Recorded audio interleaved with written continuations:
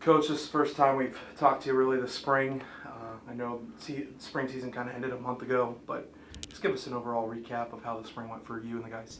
I, th- I think overall we're pretty happy with it.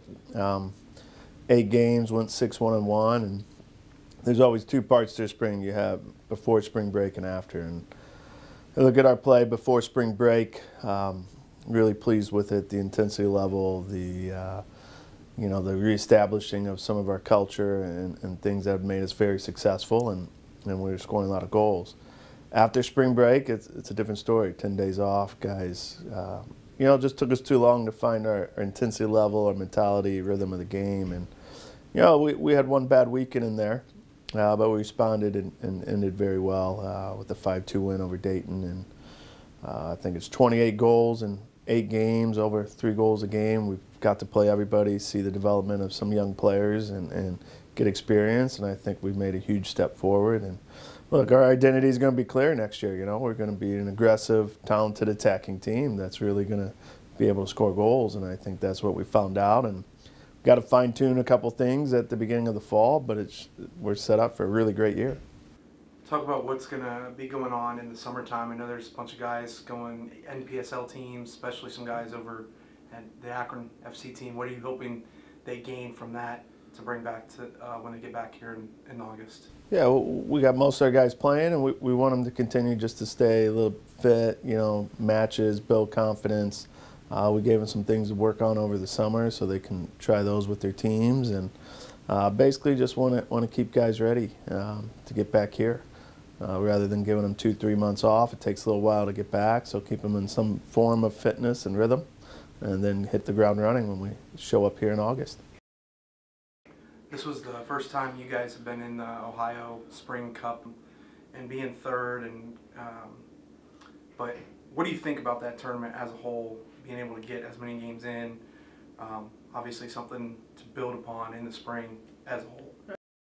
Yeah, you, you, know, I think you get to play some games that even though it's not officially recognized by NCAA, your, your pride and stuff, you, you set up a mini tournament, you know, say, and then, you know, third out of eight teams, you, you know, we wanted to be number one, and like I said, we had one bad week in the whole spring and, and paid the price, and uh, but but I think we got to see some really good things from it. You know, guys uh, play well, step up, uh, took care of some games on the road, which which we haven't done much in the fall. And you know, at the end of the day, we had the leading scorer in the whole league, uh, Dyson Clapier.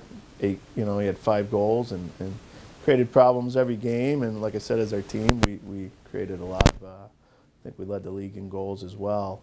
So we saw a lot of positive things building onto that, and that was you know one of the things we wanted to get out of it. But uh, you know, I think at the end, you know, it, it's all about getting guys more experienced, more confidence, working on some things for the fall than than maybe the complete results that you want in the spring. Does it make you nervous at all that it's like some lineups that you show early that, that other teams can potentially scout on or anything like that, or from a competition standpoint for our guys know where they stand coming into summer? And you know, I, I, wish we, we were able to play our best lineup consistently through, but with injuries and uh, you know some sickness, we really only played our best lineup one time. Um, so I don't know what what the people will think in the fall, but at the end of the day, look, it's it's Akron, right? We we play our best lineup and we play the way we're capable of. We're going to win a lot of games, if not all of them, and that, that's all we're focused on. Uh, for me, it's better that we didn't have our best lineup because I got to see some guys that are, are developing with, you know, maybe first team minutes, more first team minutes than they may have gotten in other situations. And I got to coach them and, and, and see how they react and, and see if we can't develop them into a key piece, whether off the bench or as a starter. So from that standpoint, you know, maybe maybe you suffer at some points in terms of your play, but it, it couldn't have worked out better for us as coaching staff. And then last coach, the guys that you did bring into the spring, where are they um, kind of going into the to the summer um, from developing the Akron culture?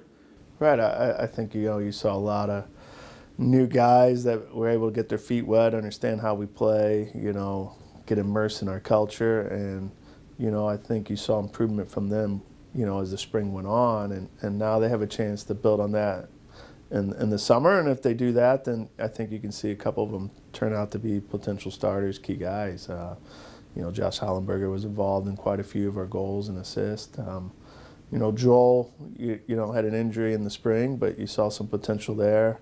Saw some great promise from freshmen, you know, Levi and, and Stefan. I think Stefan was uh, scored almost every game he played.